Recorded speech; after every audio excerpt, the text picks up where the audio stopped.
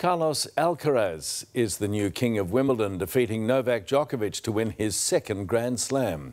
The 20 year old Spaniard dethroned the Joker in a five set epic to signal a changing of the guard. Tony Jones reports from London. For so long, Novak Djokovic has had a mortgage on this Wimbledon balcony, but today, the arrival of a new kid on the block. Just his third appearance at the All England club, and already he's part of its history. It began when the players stepped out in front of a few others who've had a bit of balcony time. Princess Charlotte sporting the sunnies and channeling a bit of Princess Margaret in her prime. Some would dare to suggest Novak was past his prime. Putting that opening set shocker behind him, Alcaraz settled the nerves and began giving the crowd what it so desperately wanted. As said all, the third was nothing short of epic. The fifth game alone lasted some 26 minutes. And that's it. It's two breaks of serve. Run ragged, but still with energy to burn, this final was already up there with the greats. Yet again, the match turned. Alcaraz got punchy.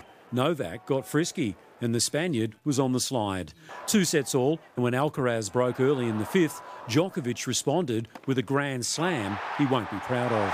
Oh, the racket has been melted against the net post. That's what the boos are all about. Having lost the plot, Djokovic then lost the final. The reign is over. Arise, King Carlos.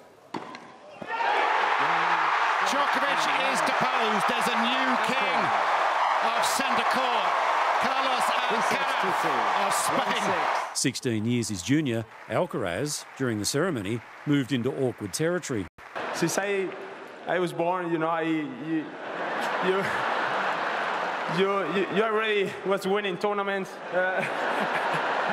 there was emotion from the Serb, not through self-pity, more the importance of family. Thank you for supporting me, and uh, I'll give you a big hug, and we can all love each other. Thank you. Tears from Novak. Cheers for Carlos.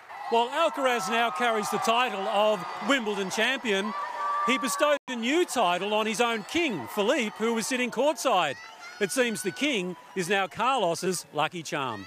Had uh, the chance to, to play in front, in front of him, you know, twice, twice that I won. Mm. Uh, you know, it's, it's lucky, it's lucky for me. There was recognition from fellow Spaniard Rafael Nadal, and while he hasn't run his race yet, the baton has certainly been passed. At Wimbledon, Tony Jones for Nine News.